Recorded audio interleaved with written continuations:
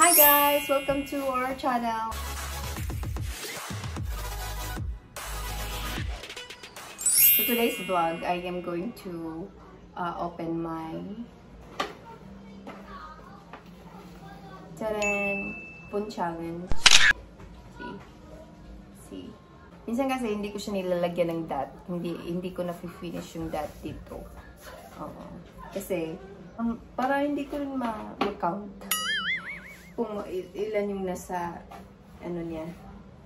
Saving money is really important nowadays. Lalo-lalo na, na lalo-lalo na pandemic.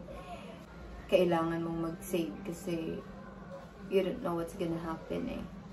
If you have like small amount of kanang coins lang, much better na kung kung hindi mo magagamit yung ibang pera mo sa mga bagay-bagay, you have to put it something in a can like this. Yung, yung mo lang.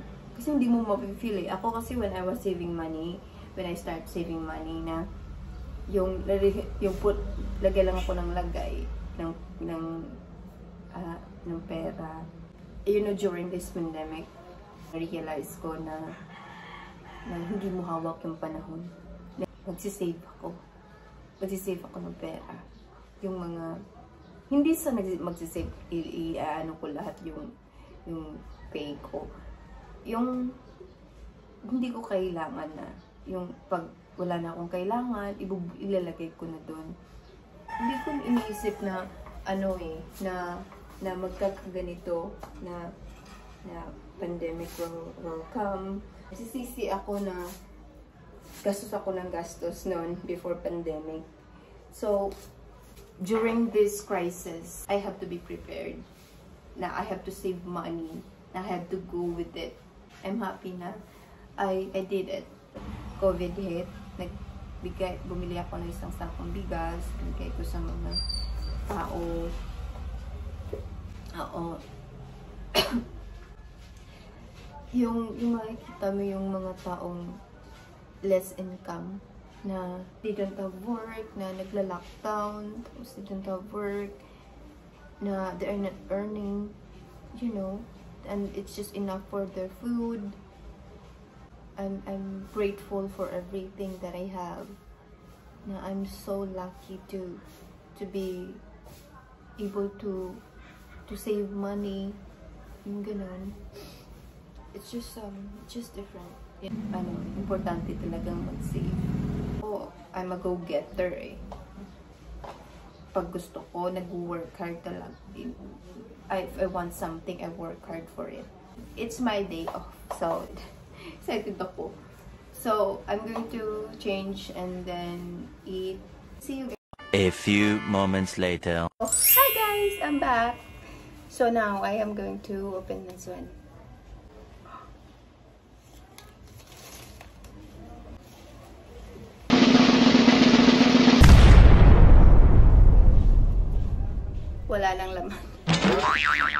Lang laman. Ito siya guys. Ano, Open ko siya kanina. So, yan lahat guys. Yung ipon. So, let's come. Let uh, come here. Me. Can you see? This is the one guys.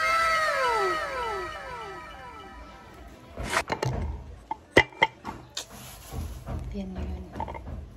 Ito na yun. Ito na yun, guys. Pero, ano, hindi naman sa mga nagmamayabang ako, ah. Pero, I am really proud na I did this. I do it.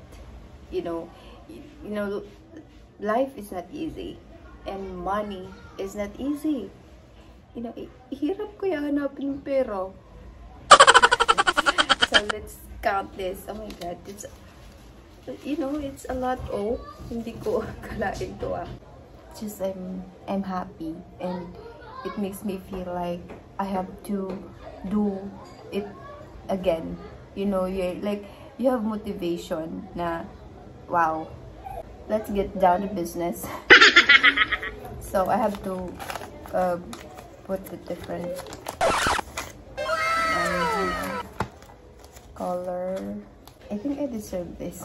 Yung naghirapan ko kaya to. I'm just really happy. Pero, hindi hindi sa nagmamayabang ako ha, pero it's really ano lang, motivation lang sa ibang tao na you know, nothing is impossible. You know, if you work hard for it, if you have the courage to do it, yung nahahappy lang ako sa sarili ko na I achieve something in myself. Ba? Na, oh my God, I can't believe I did it. Hirap kaya sometimes, you know, yun, when you're saving money, tapos, ano, yung, yung minsan nga nakukulangan ako ng pera eh. Gusto ko sanang buksan, pero hindi ko talaga, patience talaga. I'm running out of money and then I really wanted to open it na. So, it's just really hard sometimes. Pero if you have the courage na may determination ka na na yung may yung nagmo-motivate sa na ay at the end of the day I'm gonna benefit naman eh. So ganun. Pag magsipag ka, mayanihin ka. Nilulook up to ko yung mom ko, yung mama ko kasi she's just very strong woman na she can do anything. I really look up to my mom. I did it. You can also do it. Basta may pasensya, pasensya ka lang talaga. Ganun. You know, patience is really important eh, when you are saving money. And work hard also. You have to work hard for it, di ba? Ang di ko nga kalain na magagawa ko to eh. Pero alam niyo, if, mag if nagawa ko, magagawa na rin. Kakapagod pala mag, mag-count ng pera. Oh!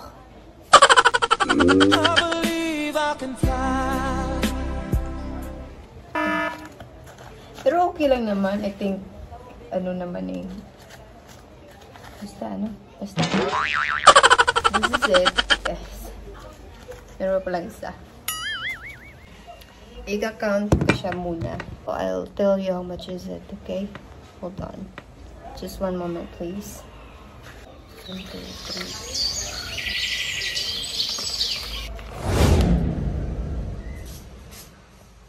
na lahat, guys. Ito na, ito na yung naipon ko. I'm not bragging, ha? I'm just really, I'm just showing you that if I did it, you can also do it. I hope that this inspires you um, by saving money. You know? So, don't bash me. Pag nagtanim ka, may anihin ka.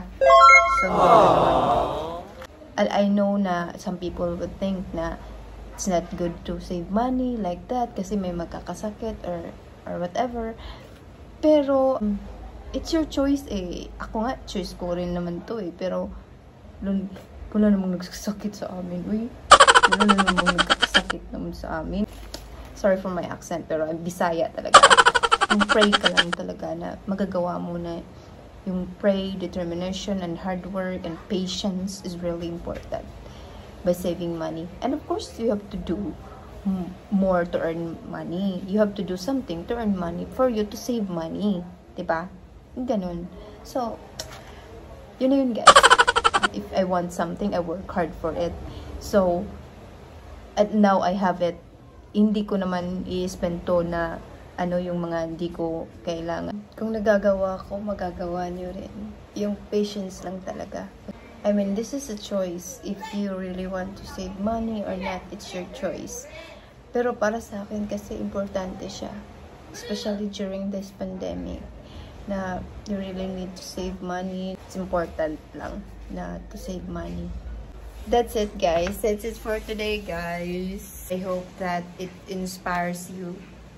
Please save money if you do so. I mean, if you have time for it and if you have kana yung ano yung mga extra extra money mo lang, you can do it really. Nothing is impossible if you you have the guts to do it. I hope you guys are doing great. Have a great day and stay safe. See you guys again. Be good and be kind. Bye.